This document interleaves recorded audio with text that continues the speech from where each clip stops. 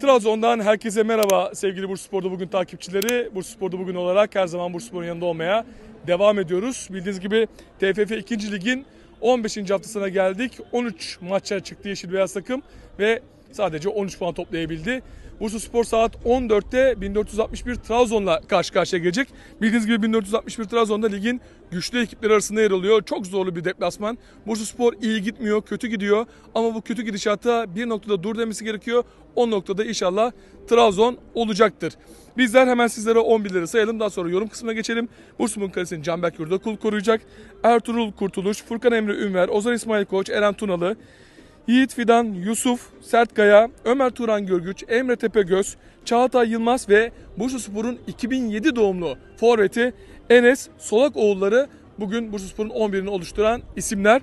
Yedekte Deniz, Talha, Recep, Emre, Berat, Eren Güler, Bilal ve Enes Gökhan'ı görüyoruz. Yedek kadrosu da fena değil Bursaspor'un. İnşallah bu futbolcular bireysel olarak da tam performans ortaya koyar ve bugün buradan 1 puan veya 3 puanla döneriz. Çünkü neden 1 puan diyorum? Aslında Bursaspor'un çıktığı her karşılaşma 3 puan niteliği taşıyor ama bu karşılaşma oldukça zorlu bir karşılaşma. Böylesine zorlu bir deplasmandan 1 puan almak da Bursaspor için hiç de fena olmaz ama Bursaspor'un hedefi 3 puan. Çünkü dediğim gibi şu anda ateş hattına 2 puan yakınlıkta Bursaspor ve son haftalardaki kötü gidişat inşallah e, sona erecektir. Canbek Yurdakul'la bugünkü karşılaşmada inşallah fazla e, şans düşmez.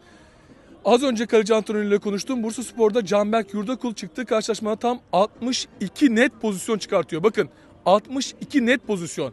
Şu anda Bursa Spor ligin en çok gol yiyen ikinci takımı ve ligin en çok kurtarış yapan kalecisi de Canberk Yurdakul. Buradan anlayabilirsiniz Bursaspor'un ne kadar e, pasif bir performans ortaya koyduğunu ve kalesinde ne kadar çok tehlike gördüğünü söyleyebiliriz.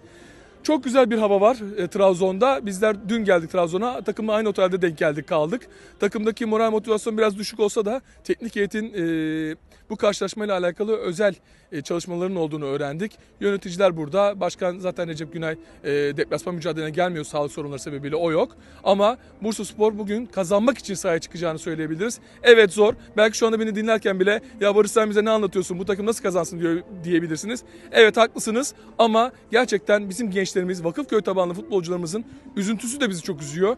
Ee, yani transfer tatlısını açmış, transfer tatlısını açıp da transfer edilen futbolcular bugün bu sahada olsa ve bu performansı ortaya koysa gerçekten yerin dibine dahi sokabiliriz ama bunlar bizim genç futbolcularımız başka bir çaremiz de yok.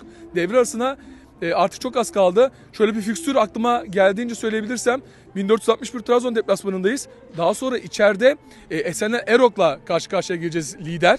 Daha sonra Afyon deplasmanı. Geliyoruz Bursa'ya Diyarbakır'la. Gidiyoruz deplasmana Van'a. Böylesine zorlu bir fikstürde alınan her puan oldukça önemli. İnşallah ama inşallah Bursa Spor özellikle bu çok üzülerek söylüyorum puan silme cezasının da gelebileceği muhtemel bir takım olarak bu karşılaşmayı kazanır. Çünkü o puan silme cezası geldiğinde Bursa Spor Bursa Sporumuz hatta diyeyim maalesef e, ateş hattına kendi ellerimizle atmış olacağız. İnşallah e, düzgün bir skor, güzel bir skorla buradan döneriz. Bursa Spor'da bugün olarak 45 artı 1, 90 artı 1 ve maç sonrasında tekrar birlikte olacağız. Aynı zamanda internet sitemizde haberlere, aynı zamanda da sosyal medyalarımızdan tüm gelişmelere, e, gelişmeleri takip edebilirsiniz. Bursa Spor taraftarı her yerde olduğu gibi Trabzon'da da takımını yalnız bırakmadı. Onların da muhteşem görsellerini paylaşacağız. Ben Barış Alım. Trabzon'dan aktardıklarım şimdilik bu kadar. Kendinize çok iyi bakın. Hoşçakalın.